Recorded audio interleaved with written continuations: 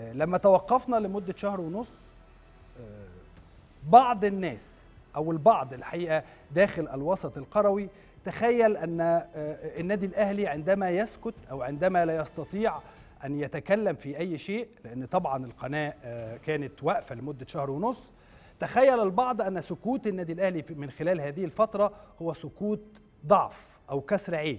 هم بيقولوا كده. هو ده كلامهم. هي دي طريقتهم. هو ده أسلوبهم. إن النادي الأهلي أصله ضعيف فمش قادر يرد. آه، ساكت لأنه مكسور عينه. ولكن الحقيقة عكس كده تماما.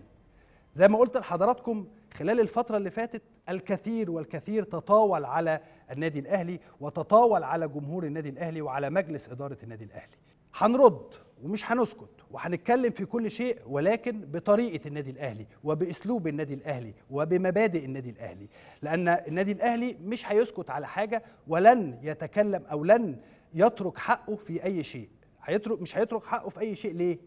لأنه النادي الأهلي هو اسم النادي الأهلي الكبير هو عظمة النادي الأهلي هو ده النادي الأهلي اللي دايما آه، بيفضل ورا كل شيء ولكن بالقانون وبمبادئ النادي الأهلي. النادي الأهلي عمره ما بيسيب حقه لأنه عارف إن وراه جماهيرية وعارف إن وراه ملايين من الج- الجماهير اللي بتقف خلف النادي الأهلي.